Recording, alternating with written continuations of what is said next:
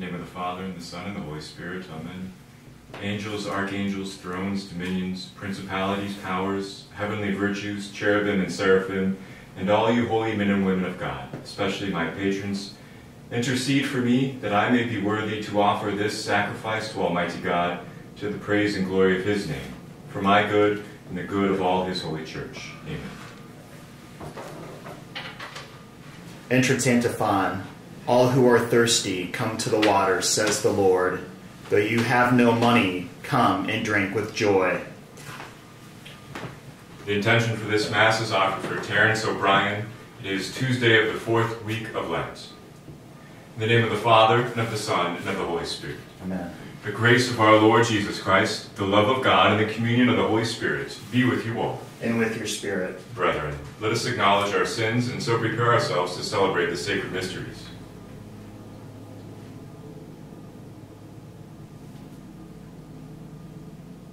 I confess to Almighty God and to you, my brothers and sisters, that I have greatly sinned in my thoughts and in my words, in what I have done and what I have failed to do, through my fault, through my fault, through my most grievous fault.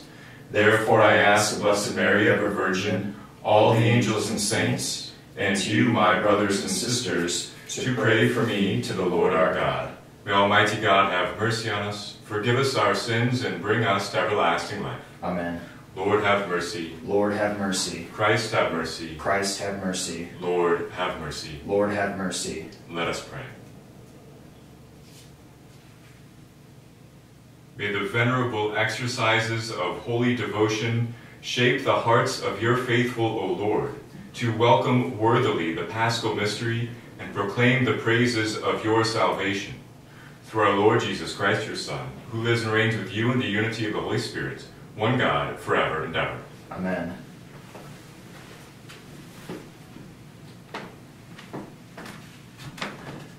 A reading from the book of the prophet Ezekiel. The angel brought me, Ezekiel, back to the entrance of the temple of the Lord, and I saw water flowing out from beneath the threshold of the temple toward the east. For the facade of the temple was toward the east. The water flowed down from the right side of the temple, south of the altar.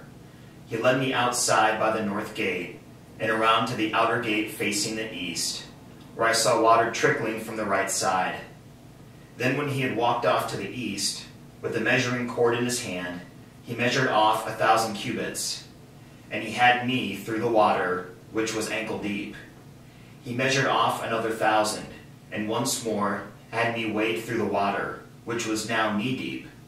Again he measured off a thousand, and he and we weighed.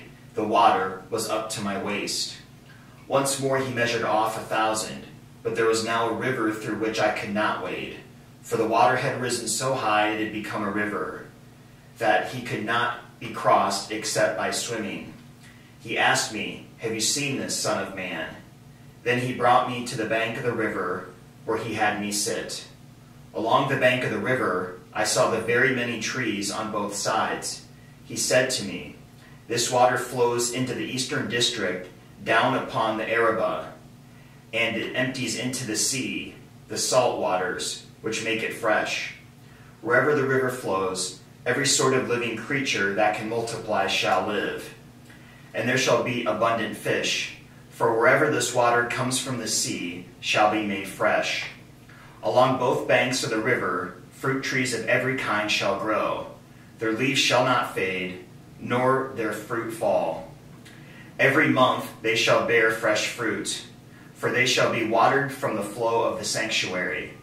Their fruit shall serve for food, and their leaves for medicine. The word of the Lord. Thanks be to God. The Lord of hosts is with us. Our stronghold is the God of Jacob. The Lord of hosts is with us. Our stronghold is the God of Jacob. God is our refuge and our strength, an ever present help in distress. Therefore we fear not, though the earth be shaken, and the mountains plunge into the depths of the sea. The, The Lord of our hosts hosts is is with with us. us. Our stronghold is the God of Jacob. There is a stream whose runlets gladden the city of God, the holy dwelling of the Most High. God is in its midst. It shall not be disturbed. God will help it at the break of dawn. The Lord of hosts is with us. Our stronghold is the God of Jacob. The Lord of hosts is with us. Our stronghold is the God of Jacob. Come behold the deeds of the Lord, the astounding things he has wrought on earth. The Lord of hosts is with us. Our stronghold is the God of Jacob.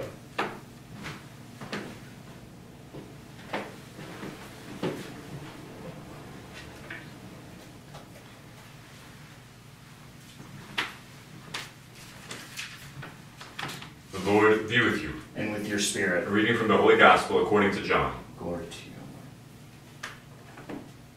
There was a feast of the Jews, and Jesus went up to Jerusalem. Now there was in Jerusalem, at the sheep gate, a pool called in Hebrew Bethesda, with five porticos. In these lay a large number of ill, blind, lame, and crippled. One man was there who had been ill for thirty eight years. When Jesus saw him lying there, he knew that he had been ill for a long time and said to him, Do you want to be well? The sick man answered, Sir, I have no one to put me into the pool. When the water is stirred up while I'm on my way, someone else gets down there before me. Jesus said to him, Rise, take up your mat and walk. Immediately the man became well, took up his mat, and walked. Now that day was a Sabbath. So the Jews said to the man who was cured, It is the Sabbath. It is not lawful for you to carry your mat. He answered them, The man who made me well told me, Take up your mat and walk. They asked him, Who is the man who told you, Take up and walk? The man who healed me did not know who it, the man who was healed did not know who it was, for Jesus had slipped away, since there was a crowd there. After this, Jesus found him in the temple area and said to him, Look, you are well. Do not sin any more, so that nothing worse may happen to you. The man went and told the Jews that Jesus was the one who had made him well. Therefore, the Jews began to persecute Jesus because he did this on a Sabbath. The Gospel of the Lord. Praise to you, Lord Jesus Christ. Yesterday, Jesus encountered a royal official who wanted our Lord to accompany him to cure his son. And Jesus uh, did heal, but not in the way that the official wanted or even expected. Today, Jesus encounters a man who was ill for 38 years and asks a seemingly heartless question Do you want to be well? Do you want to be healed? Do you want to be saved? They all have the same root word. For Jesus doesn't just come to take our souls to heaven, but to restore everything that is broken and lost. Our physical health, our relationships, our life with the Lord. Jesus comes to restore everything. He is Savior. He is the one who restores. But the paralytic goes on to explain that nobody places him in the water, and everyone else gets in before him. After the healing, Jesus slips away and quietly searches him out and warns him Do not sin, so that nothing worse may happen to you. In many of the early commentaries, and in fact some of the very ancient manuscripts of Scripture, there's additional verses to help us understand this reality that there were these, these pools outside of the temple area. And as shepherds would bring in the sheep to be slaughtered and sacrificed, they would cleanse them in these pools. And many of these pools were natural springs that would bubble up. And the ancient Jews would, would recognize that in these springs there were curative powers. They had that, that angels hovered over the waters that caused them to bubble. And so whoever was the first one to get in when the spring would start to, to gurgle uh, would be healed of whatever infirmity they had. And so it was really imperative to be first, but you had to have a measure of health or at least certain friends to do that. So this, this paralytic is explaining that he has been there for 38 years, essentially begging at the mercy of everyone else. So the Lord asks not just a heartless question, do you want to be well? Because the answers should be obvious. But the question is, are you ready for your life to change? Are you ready to live on your own? You can no longer be a beggar after this point. You have been here for 38 years, you probably don't have a trade, you don't have a skill. So if you are restored to health, you don't have a right to beg. Nobody will support you. You have to support yourself. Your life has to be radically different after encountering Jesus, after receiving this grace. This grace isn't free in the sense that it demands of us something, namely our total response. So the Lord gives him this option rise. He doesn't have to, but he does. 38 years he had survived as a beggar. 38 years should be very um, significant for us because these are the number of years after the rebellion in the desert that the people wandered in rebellion back and forth with the Lord, struggling to embrace what the Lord had asked them as they were going to the promised land. For 38 years, this rebelliousness, this submission back and forth. So we can see the spirit within this beggar as well. Because when Jesus asks him a very direct question, he does not give a direct answer.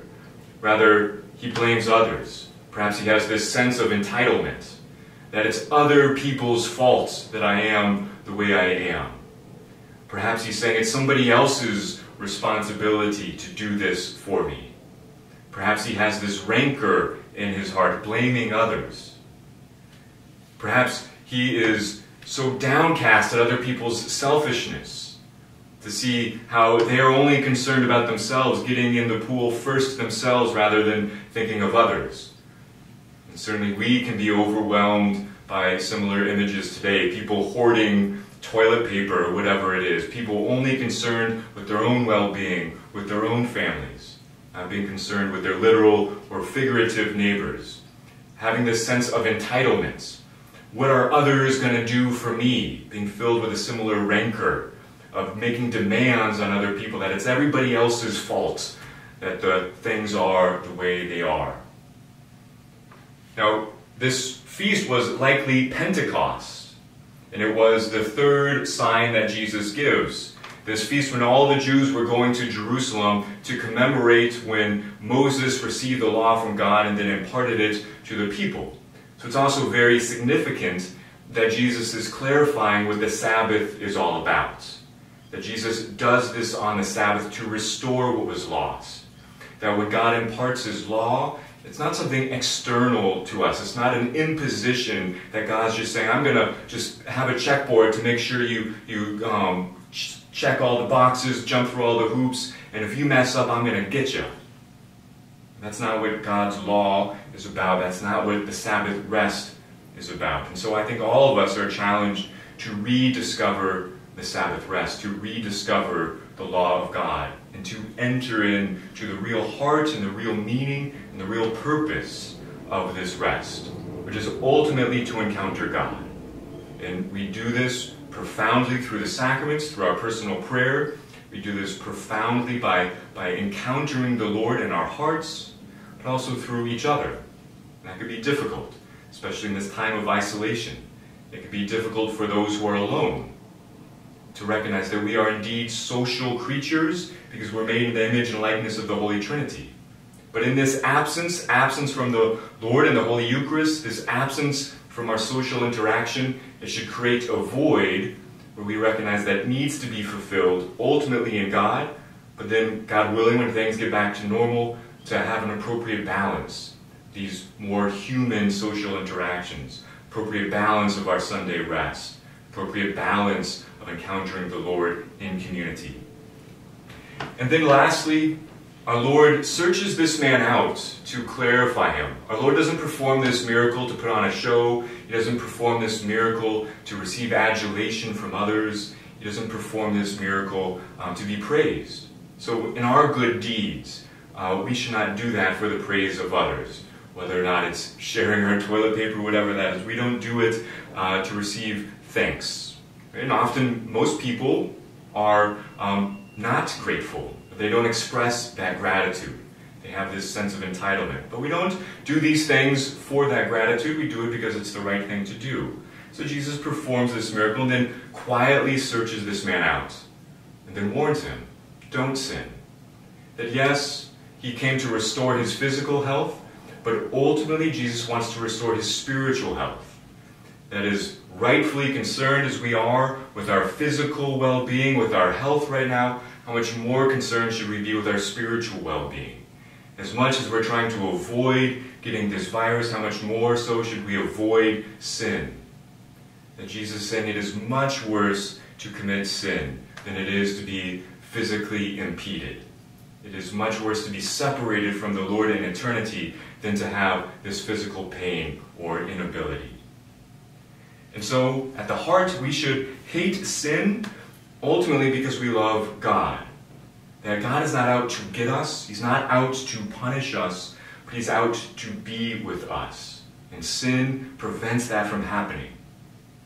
And so, at this Mass, as our Lord becomes present, body, blood, soul, and divinity, may we pray this ache that we have to receive our Lord and the most holy Eucharist will be fulfilled. Will be fulfilled as soon as possible here on earth and ultimately fulfilled in heaven. May this void that we all experience by encountering Him in His Word, in His sacrament, and each other be fulfilled through the prayers of the Blessed Virgin Mary and all the saints who are interceding for us and preparing us to encounter our Lord with them in heaven. Praise be Jesus Christ. Now and forever.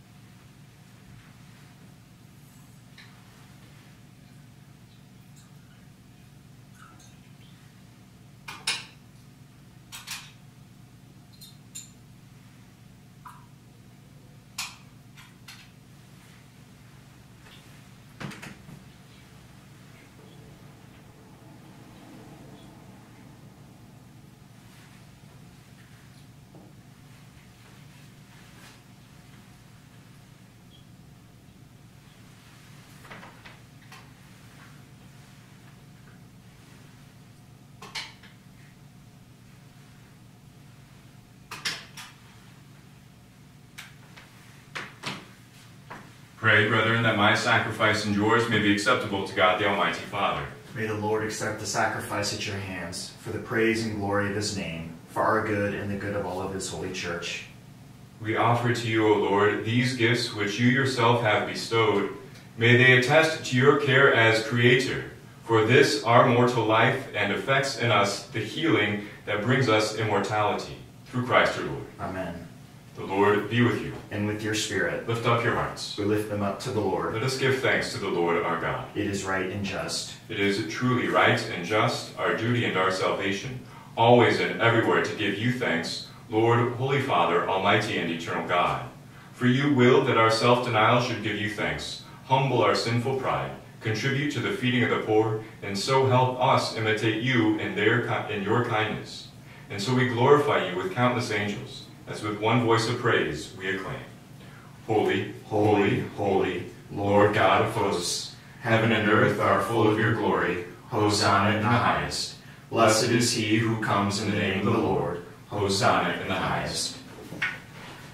To you, therefore, most merciful Father, we make humble prayer and petition through Jesus Christ, your Son, our Lord, that you accept and bless these gifts, these offerings, these holy and unblemished sacrifices which we offer you firstly for your holy Catholic Church. Be pleased to grant her peace, to guard, unite, and govern her throughout the whole world, together with your servant Francis our Pope, and Michael our Bishop, and all those who, holding to the truth, hand on the Catholic and Apostolic faith. Remember, Lord, your servant, Lissy and Caitlin, and all gathered here, whose faith and devotion are known to you. For them we offer you this sacrifice of praise, or they offer for themselves and all who are dear to them, for the redemption of their souls, in hope of health and well-being, and paying their homage to you, the eternal God, living and true.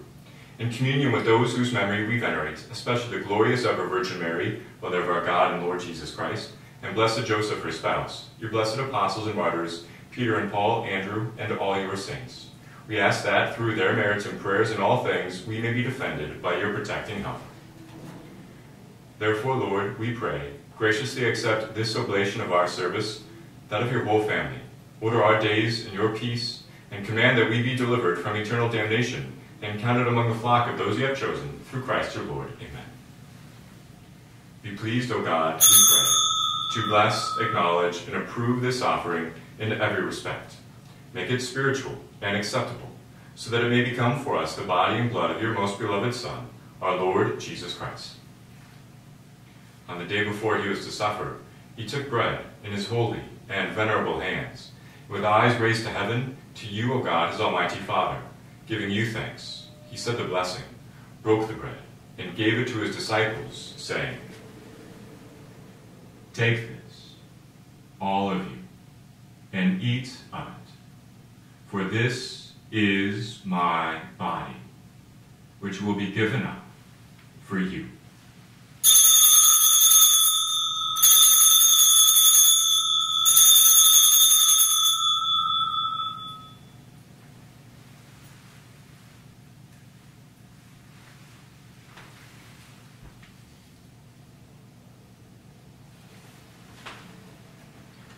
In a similar way, when supper was ended, he took this precious chalice in his holy and venerable hands, and once more giving you thanks, he said the blessing, and gave the chalice to his disciples, saying, Take this, all of you, and drink from it, for this is the chalice of my blood, the blood of the new and eternal covenant, which will be poured out for you and for many for the forgiveness of sins. Do this in memory of me.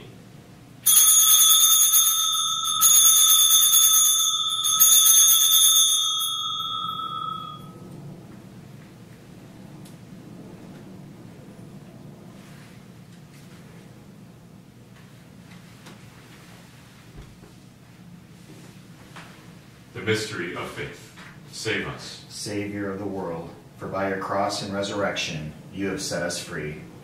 Therefore, O Lord, as we celebrate the memorial of the blessed Passion, the resurrection from the dead, and the glorious ascension into heaven of Christ your Son, our Lord, we, your servants and your holy people, offer to your glorious majesty from the gifts that you have given us this pure victim, this holy victim, this spotless victim, the holy bread of eternal life, and the chalice of everlasting salvation.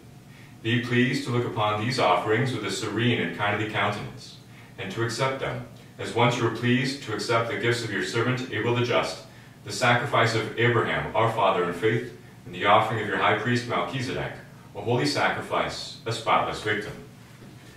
In humble prayer, we ask you, Almighty God, command that these gifts be borne by the hands of your holy angel to your altar on high, in the sight of your divine majesty, so that all of us, who, through this participation at the altar, receive the most holy body and blood of your Son, may be filled with every grace and heavenly blessing. Remember also, Lord, your servant Terence O'Brien, who has gone before us with the sign of faith, and rest in the sleep of peace. Grant him, O Lord, we pray, and all who sleep in Christ a place of refreshment, light, and peace through Christ our Lord. Amen. To us also, your servants, who, though sinners, hope in your abundant mercies, graciously grant some share in fellowship with your holy apostles and martyrs, with John the Baptist, Stephen, Matthias, Barnabas, and all your saints. Admit us, we beseech you, into their company, not weighing our merits, but granting us your pardon, through Christ our Lord, through whom you continue to make all these good things, O Lord. You sanctify them, fill them with life, bless them, and bestow them upon us.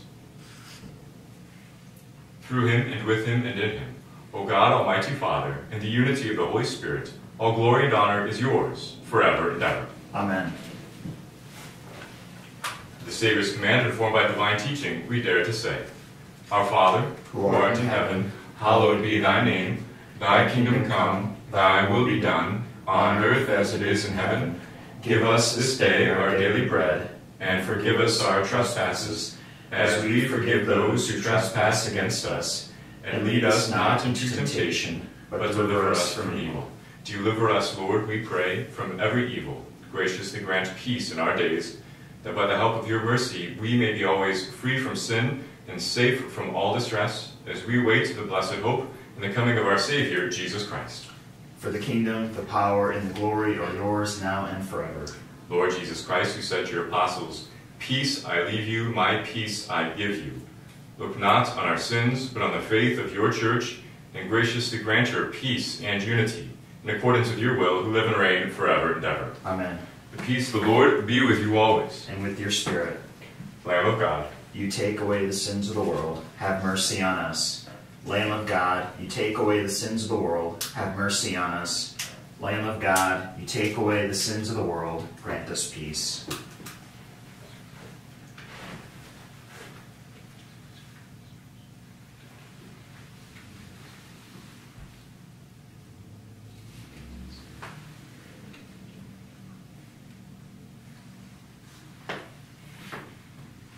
Behold the Lamb of God. Behold him who takes away the sins of the world. Blessed are those who are called to the supper of the Lamb. Lord, I am not worthy that ye should enter under my roof, but only say the word, and my soul shall be healed.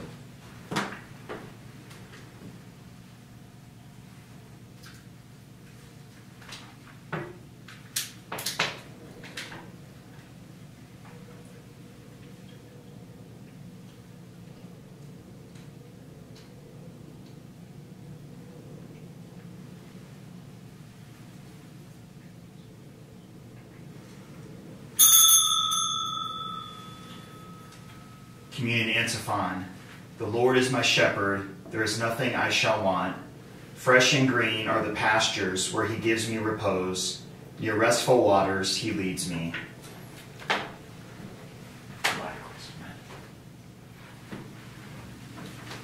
Spiritual Communion. My Jesus, I believe that you are present in the most holy sacrament. I love you above all things, and I desire to receive you into my soul. Since I cannot at this moment receive you sacramentally, come at least spiritually into my heart. I embrace you as if you were already there, and unite myself wholly to you. Never permit me to be separated from you. Amen.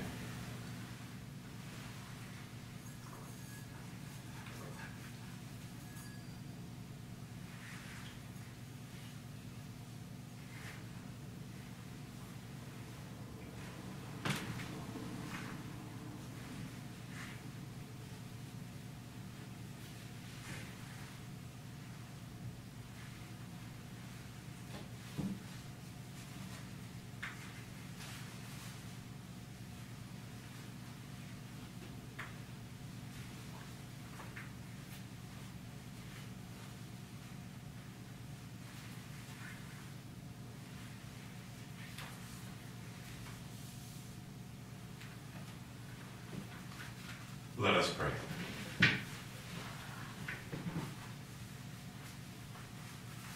Purify our minds, O Lord, we pray, and renew them with this heavenly sacrament, that we might find help for our bodies, now and likewise in the times to come. Through Christ our Lord. Amen. The Lord be with you. And with your spirit. May Almighty God bless you, the Father, and the Son, and the Holy Spirit. Amen. Go forth, the Mass is ended. Thanks be to God. Saint Michael, the Archangel, defend us in battle. Be our protection against the wickedness and snares of the devil. May God rebuke him, we humbly pray. And do thou, O Prince of the heavenly host, by the power of God, cast into hell Satan and all evil spirits who prowl about the world seeking the ruin of souls. Hail Mary, full of grace, the Lord is with thee. Blessed art thou among women, and blessed is the fruit of thy womb, Jesus. Holy Mary, Mother of God, pray for us sinners, now and at the hour of our death. Prosit, Promnibus, sing please.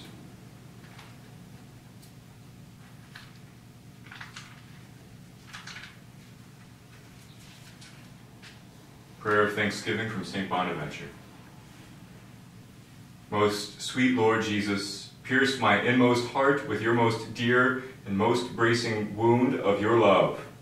Pierce it with true, serene, apostolic, and most holy charity, that my soul may ever yearn and melt with love for you and for the desire to possess you. May my soul be drawn toward you and overwhelmed with the hope of entering your courts. May it long to be dissolved and to be with you. Grant that my soul may hunger for you, the bread of angels and the food of holy souls, our supersubstantial bread, having in itself every sweetness and good taste, having the delightfulness of all charms, of all the charms of my heart.